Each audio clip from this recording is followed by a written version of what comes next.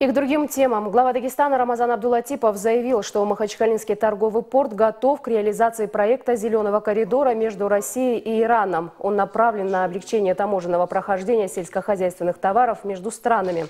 Абдулатипов отметил, что, к сожалению, в 2014 году товарооборот между Дагестаном и Ираном составил всего 214 миллионов долларов, в 2015 году – 75 миллионов.